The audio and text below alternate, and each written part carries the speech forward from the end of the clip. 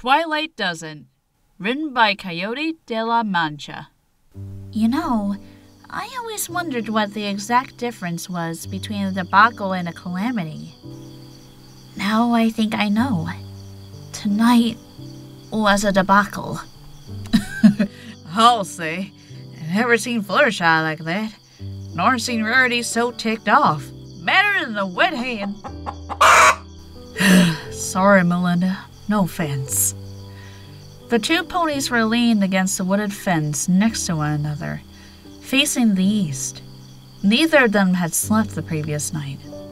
While the Grand Galloping Gala was generally expected to last well into the early morning, their first experience had ultimately ended in total chaos. So, once the dust had settled, the six friends had spent hours hanging out with Spike. They'd let him show them the sights by way of apology for forgetting him in their earlier excitement. It was generally acknowledged that the time with Spike had, in fact, been the highlight of the night. Now it was two hours even after that. Once Spike was safely asleep in the library, Applejack had walked home with Twilight accompanying her. Behind them, Sweet Apple Acres was just starting to stir. And I never saw Princess Celestia like she was tonight. I mean, I'm glad she was happy. It was the happiest I'd ever seen her, aside from when Princess Luna returned. But in all the years I've been her student, she always seemed so serene, so formal, almost aloof. Now, I'm still trying to wrap my head around it. She wanted the party disrupted? Maybe she just wanted to see that snot-nosed nephew of hers get her comeuppance. I gotta say, I weren't too impressed with him myself. When I think of what that critter said about my apple fritters, it still makes my blood boil. Not to mention how he treated Rarity. Yeah, I can only imagine what it must be like, having your heart broken like that. Well, now, I don't know as I go that far. Applejack rolled her eyes a little. You gotta bear in mind, this is Rarity. As much as I do love her to death, she can kinda be a drama queen? Yeah, a little bit. Still, I suppose it must be disappointing having your cap set for a fella and finding out he's such a jerk. Being worse than being told off from the start. Twilight looked out at the dawn. I suppose I've never had the experience. Never been turned down or never asked a jerk? No, I mean, I've never asked. Oh, well, I guess that makes sense. But you've been asked. Twilight shrugged. I suppose. Applejack nodded. Yeah, that's about where I'm at. But Rarity. she chuckled, shaking her head.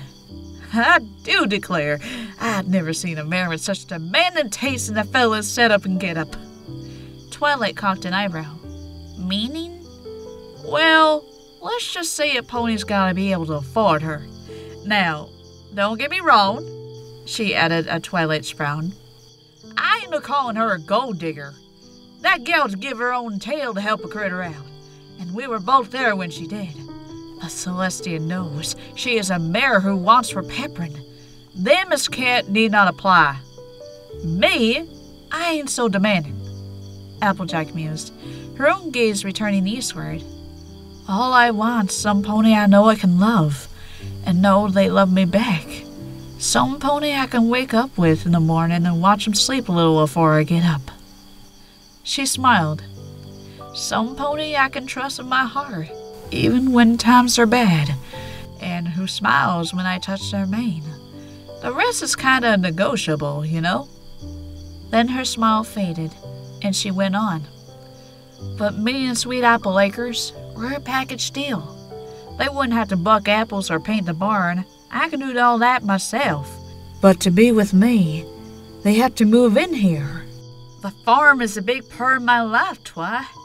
I'll support them in all their endeavors, but I need them to support me in mine. And for the few ponies I've ever looked at, that's been a deal breaker. A big one. Twilight stared. That's crazy. It's so beautiful here. How? Applejack shrugged. I don't know, but that's the way it is. I reckon Big Mac might get hitched someday. Maybe he'll move out, or maybe they'll raise their kids here. I'd like that. Apple Bloom find some pony too, like as not. And maybe she'll move off somewhere to be with him, though I missed her something fierce. But for me, I'll live out my life right here on the farm, with an apple tree in my grave when I pass. She smiled again. And that suits me right down to the ground. The breeze toyed with our manes as it went by, smelling pleasantly of apple blossoms and green grass. After a time, Applejack said, So, what do you look for? When? In a partner. Oh, um, I don't. Applejack cocked her head. You mean like it'll happen when it happens? No, I mean like I'm not looking for anything to happen. Twilight hesitated for a moment, then took the plunge. I'm not attracted to any pony. Mares, stallions, whatever. I'm not into it. I'm asexual. Applejack blinked. Oh, well, all right then. Twilight let out her breath.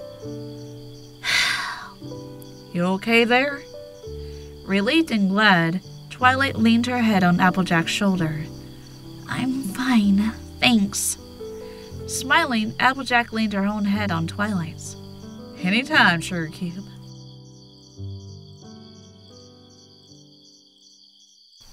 After a while, when they were side by side again, Twilight's gaze turned wistful. Too bit for your thoughts? Oh, I was just remembering when I tried to talk to my mom about it. It didn't go so well. She wanted grandfold someday, huh? Twilight shrugged. It wasn't even that. She was just so convinced that I could never have a fulfilling life unless I was doing it. She slipped into an impression of her mother. Oh, honey, I just know you'd like it if you tried it. Applejack stared at her. Seriously? Uh huh. I tried to explain to her that I didn't want to try it, that I was perfectly happy without. she just couldn't get it.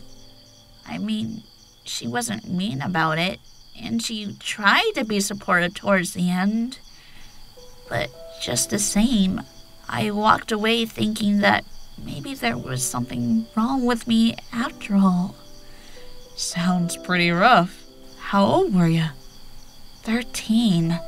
And yeah, I was pretty wrecked.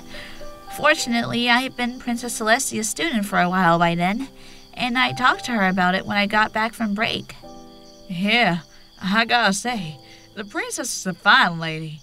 She gets you back on track? Twilight nodded. Uh huh. She knew exactly where I was coming from, in fact. No pony brings it up in Canterlot, so I didn't know until we talked. But it's no secret that she's not into sex either. Never had a lover, never going to, and perfectly happy. I reckon that must have helped. Twilight grinned. Well, it's hard to think that you're a total misfit when your mentor's the same way. Huh. Which Rainbow had that kind of luck. Twilight frowned. Why? What happened? Oh, it was a while back. But when she was a little filly, I guess she got seven different shades of hay over being into mares. Rainbow Dash? But every pony she's ever looked at has been a stallion. Sure. But Cloudsdale ain't like Canterlot, nor even like Ponyville. Farther away from the princess, maybe. And Rainbow stood out in a lot of ways. So it didn't matter if she was or she wasn't. It was just something to call a pony like it was an insult, and for the other folks to pick on her about it. They did. She shook her head. Gone to some nasty fights, I guess, when she was little. If you can call three on one or five on one a fight. Twilight stared in disbelief. That's horrible. Well, times are better nowadays. Just the same, though, you got a death wish, you would just start talking down about other folks' preferences around her. One time, she overheard a couple of fillies giving Apple Bloom a rough time on her way home, saying stuff about her and Sweetie Belle. Way I hear it, Dash might as well have stabbed them bullies that scared him to death. One of 'em, Silver Spoon, she went on about how she was going to tell her daddy before she ran off, but nothing came of it. So either she didn't, or he decided she was in the wrong. They watched the sun rise together a while longer, in comfortable silence. Well, I better get going. Got a lot of chores to do. But listen. She put a hoof on Twilight's shoulder, and Twilight turned to be met by Applejack's eyes as the orange mirror spoke to her in a voice both serious and gentle. Comes down to it, Twi. You ever change your mind about farm living? You just let me know, okay?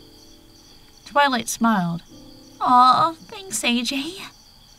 They hugged briefly, and Applejack trotted into the barn.